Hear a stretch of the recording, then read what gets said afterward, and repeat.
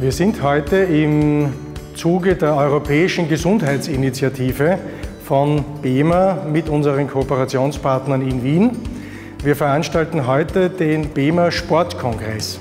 Aus diesem Grund haben wir uns heute am Sonntag zusammengefunden, am ersten Advent, um auch hier sportlich zu sein. Das Besondere ist, dass wir fünf aktive und auch bereits quasi pensionierte Sportler hier heute zusammenfinden äh, werden. Wir haben äh, unseren Schirmherrn im Sport, den Axel Schulz, extra aus Berlin angereist. Wir haben Ivica Vastic, bereits auch schon in der Fußballpension nach wie vor äußerst aktiv. Wir haben einen immer noch aktiven Kadel Cordin, der die Silbermedaille bei der WM in Gröbming 1970 nach Österreich geholt hat oder für Österreich geholt hat. Also ich habe das große, große Glück, dass ich jetzt seit äh, gut anderthalb Jahren den BEMA habe und äh, er hilft mir natürlich über meine Schmerzen hinwegzukommen. Ich habe durch den Leistungssport natürlich sehr viele Knochenbrüche gehabt, äh, sehr, äh, sag mal, schwere Verletzungen mit der Bandscheibe, mit den Knien. Und ich muss sagen, seitdem ich jetzt BEMA äh, bin, ist das einfach der Knaller. Man fühlt sich wohler, man ist wirklich schmerzfreier und äh, das Leben macht viel mehr Spaß wieder. Meine beste Zeiten waren natürlich die Zeit bei Sturm Graz. Das war wirklich einmalig, die acht Jahre, was ich dort verbracht habe und natürlich auch erfolgreichste in meiner Karriere. Die Regeneration im Sport ist sehr wichtig und das ist ein natürlich äh, großer Bestandteil von äh, erfolgreicher Karriere bei einem Sportler.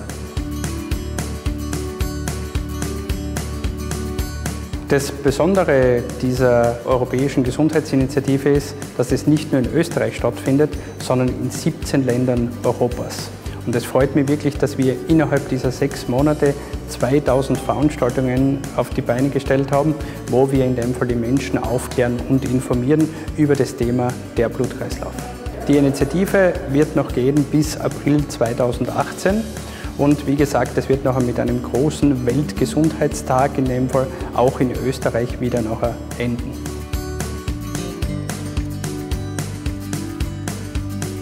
Die Entstehungsgeschichte von BEMA ist jetzt fast 20 Jahre her. Wir haben nächstes Jahr 20-jähriges Jubiläum. Und wie es begonnen hat, ja, ich erzähle es immer noch auf meinen Seminaren, wenn mir einer erzählt hätte, dass wir den Stand, den wir heute erreicht haben, vor zehn Jahren dargestellt hätte, hätte ich gesagt, du spinnst. Das ist wie in vielen anderen Unternehmen. Wir haben oftmals zur richtigen Zeit die richtige Entscheidung getroffen. Und äh, deswegen sind wir jetzt da, wo wir sind. Wir haben ein Gerät geschaffen, was eine brutale therapeutische Relevanz hat. Dann dürfen wir alle stolz drauf sein. Äh, wir haben fast wöchentlich neue Erkenntnisse durch den Einsatz der BEMA-Therapie. Da, da, werden noch viele neue Dinge auf uns zukommen, sehr revolutionäre Dinge. Und dann ist der technische Part. Also wir haben Möglichkeiten, äh, das auszubauen bis ins Ultimo. Wir haben definitiv eine neue Therapieform geschaffen.